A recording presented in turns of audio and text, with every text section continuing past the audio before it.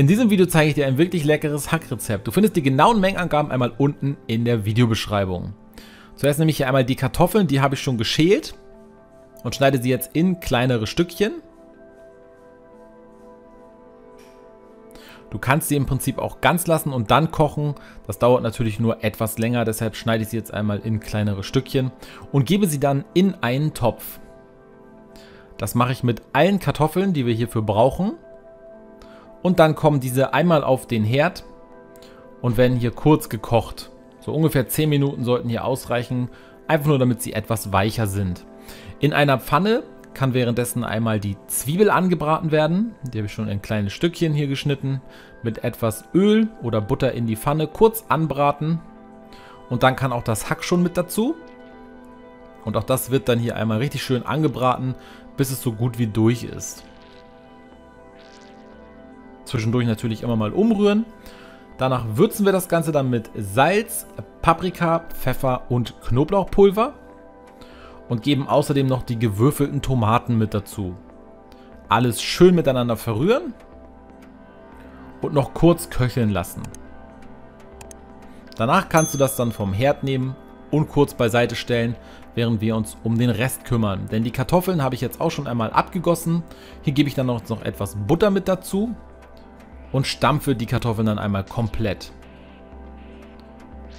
bis wir so eine schöne breiige Konsistenz haben, denn die brauchen wir jetzt für den weiteren Verlauf dieses Rezeptes. Wenn du alles schön gestampft hast, nimmst du dir nämlich eine schöne Auflaufform oder einfach ein Backblech, nimmst immer etwas von diesen Kartoffeln und formst daraus eine kleine Kugel, so wie du es hier sehen kannst.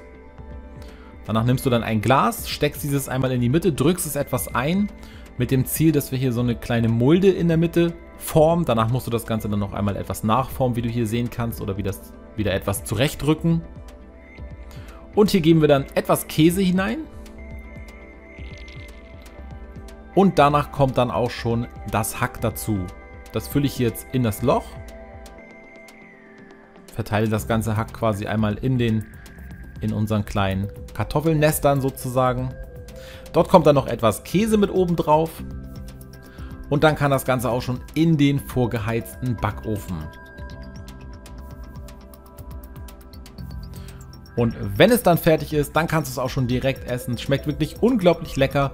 So ein richtig schön leckeres Kartoffel-Hack-Rezept, was wir hier gemacht haben solltest du auf jeden Fall einmal probieren, wenn du Hack und Kartoffeln gerne isst.